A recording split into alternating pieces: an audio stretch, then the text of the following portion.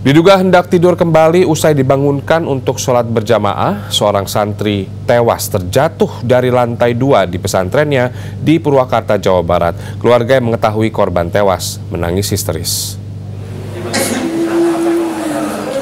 Ista, orang tua korban, terus menangis histeris di Rumah Sakit Bayu Asih Purwakarta.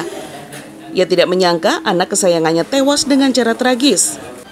Korban Mario, warga Rengas Dengklok Karawang tewas setelah jatuh dari lantai 2 pesantren Nurul Ilmi, Pesawahan Purwakarta. Korban yang masih berusia 9 tahun diduga hendak bersembunyi, menghindari sholat subuh berjamaah. Korban sempat meminjam kasur untuk tidur di koridor kamar yang masih dibangun.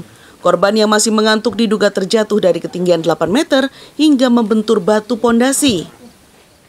Ada yang tahu anak itu tidur atau tidak, yang jelas jatuh dari situ entah itu nundutan mau ngambil sendal mungkin dia lagi nundutan atau seumpamanya diam dulu uh, kepleset kan seperti itu. Sementara korban tadi ditemukan jam 7 pagi oleh uh, santri lain. Belum kita belum bisa memastikan dia ngumpet ataukah dia lari. Yang jelas uh, pada saat dia seharusnya ke masjid dia tidur lagi Polisi yang melakukan olah TKP langsung memeriksa sejumlah saksi, termasuk pengurus pesantren.